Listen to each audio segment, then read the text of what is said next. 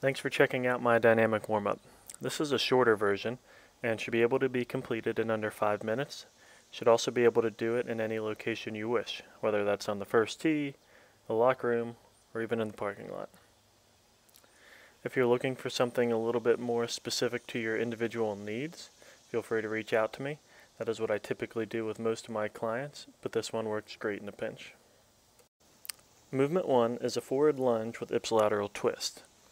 During this movement, you're going to lunge forward, create a stable base, and then on top of that stable base, you're going to create rotation of the spine. This will help warm up the movements that we plan to make in the golf swing. For me, I like to do 5 to 10 repetitions per side, but it's really about how it feels for you, so you can do as many as you need to to make sure you feel warmed up. Movement 2 is a lateral lunge with an ipsilateral twist. We're going to apply many of the same principles from movement 1 and movement 2. However, we're going to apply these movements in the frontal plane. Just like when you're standing next to a golf ball, and your force development includes a lateral movement, which transitions into rotation of the spine. Again, I like about 5 to 10 repetitions per side, but you should really pick a repetition number that fits you and makes you feel ready to golf. Movement 3 is called a club pull apart. What you're going to do is position your hands at various distances from one another on the club shaft. You're then going to pull with an outward motion like you're trying to stretch the club shaft longer. You're going to feel this in the muscles of your upper back, most likely right between your shoulder blades, but you may also feel it in the back part of your shoulder.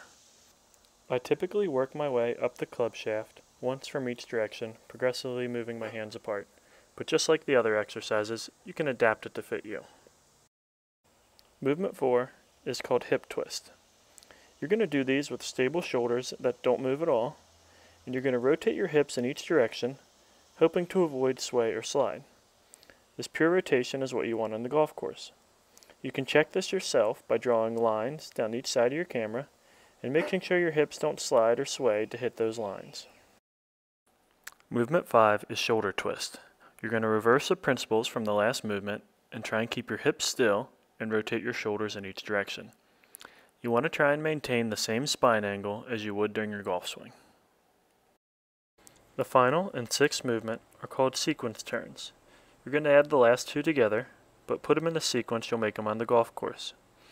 This sequence is shoulders, hips, hips, shoulders. This sequence is tremendously important to making a good, efficient golf swing. I hope this short and dynamic warm-up helps you on the golf course.